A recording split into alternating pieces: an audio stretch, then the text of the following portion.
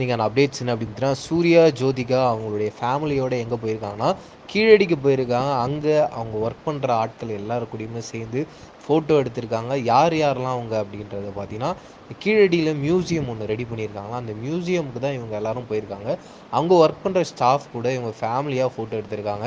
அந்த ஒரு ஃபோட்டோஸ் இப்போ சோஷியல் மீடியாவில் பயங்கர பரவலாக போயிட்டுருக்கு. அதுக்கு அடுத்தபடியாக எஸ்கே 21 இந்த படத்து மேலே இருக்க எதிர்பார்ப்பு அப்படின்றது மிகப்பெரிய அளவில் இருக்குது ஏன்னா, கமல்ஹாசன் அவர்களுடைய ப்ரொடக்ஷன் கம்பெனி ப்ரொடக்ஷன் பண்ணுறாங்க இதை தாண்டி சாய் பல்லவி இந்த திரைப்படத்துடைய ஹீரோயினாக நடிக்கிறாங்க. அதனால் கண்டிப்பாக இந்த படத்தில் ஃபீமேல் கேரக்டருக்கு மிக முக்கியமான ஒரு போர்ஷன் இருக்க போகுதுன்றதுல டவுட்டே இல்லை இதில் ஸ்பெஷலாக என்ன சொல்கிறாங்கன்றத பார்த்தீங்கன்னா, இந்த படத்தில் சாங்ஸ் அப்படின்ற மாதிரி பெருசாக இருக்காது. மிக முக்கியமாக இந்த படத்தில் டான்ஸ் அப்படின்ற போர்ஷனே இருக்காது அப்படின்ற மாதிரி டாக்ஸ் இருக்குது கண்டிப்பாக சிவகார்த்திகேயன் அண்ட் சாய் ஃபேன்ஸுக்கு இது ஒரு டிசப்பாயின்மெண்ட்டாக இருந்தாலும், கதைக்கு அது தேவையில்லைன்னு சொல்லிட்டு அவங்க ஃபிக்ஸ் பண்ணி ரொம்ப ப்ராப்பரான ஒரு படம் எடுக்கணும்னு நினைக்கிறது பயங்கரமான ஒரு வளர்ச்சியாக நான் பார்க்குறேன். அதுக்கு அடுத்தபடியாக தங்கலான் பா. ரஞ்சித்துடைய டைரக்ஷனில் பயங்கர விறுவிறுப்பாக போயிட்டுருக்கு இந்த படத்துடைய ஷூட்டிங். கிட்டத்தட்ட நூறு நாள் இந்த திரைப்படத்துடைய ஷூட்டிங்கை முடிச்சிருக்காங்க.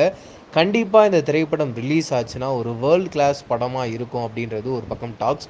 இன்னொரு பக்கம் என்ன சொல்கிறாங்க அப்படின்னு பார்த்தீங்கன்னா, சியான் விக்ரமுடைய கரியர்லயே இந்த படத்துடைய பாக்ஸ் ஆஃபீஸ் அப்படின்றது மிகப்பெரிய அளவில் பேசப்படும் அப்படின்ற அப்படின்னு சொல்கிறாங்க புஷ்பா த ரூல் புஷ்பா படத்துடைய பார்ட் டூ இந்த திரைப்படத்துடைய கிளிம்ஸ் ஏப்ரல் எட்டாம் தேதி அல்லு அர்ஜுனுடைய பிறந்தநாள் அன்னைக்கு ரிலீஸ் ஆக போகுது அப்படின்றத கன்ஃபார்ம் பண்ணுறாங்களாம் அதுக்கு அடுத்தபடியான அப்டேட் என்ன அப்படின்றது பார்த்தீங்கன்னா, உலகநாயகன் கமலஹாசன் அவர்கள் அவர் இப்போ எங்கே கிளம்பியிருக்கான்னு பார்த்தீங்கன்னா, தாய்வான் கிளம்பியிருக்காரு. Indian 2 shooting.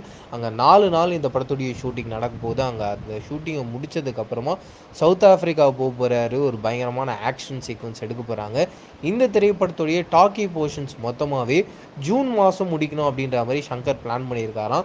அதுக்கப்புறம் தான் இந்த திரைப்படத்துடைய சாங் போர்ஷனும் ஷூட் பண்ணணுன்ற மாதிரி பிளான் பண்ணியிருக்காங்க அப்படின்ற அப்டேட் கிடச்சிருக்கு அந்த போகிற போக்கில் இந்த ஜூன் மாதமே இந்த திரைப்படத்துடைய விஎஃப்எக்ஸுக்கான ஒர்க்கையும் ஸ்டார்ட் பண்ணி முடிச்சிடணும் அப்படின்ற மாதிரி பிளானிங்கில் இருக்காங்கன்ற அப்டேட்டும் கிடச்சிருக்கு அதுக்கு அடுத்தபடியான அப்டேட்னு பார்த்தீங்கன்னா, கார்த்தி அவர்களுடைய 26வது திரைப்படம் நலன் குமாரசுவாமியுடைய டைரக்ஷனில் ரெடி ஆகிட்டு இருக்கு.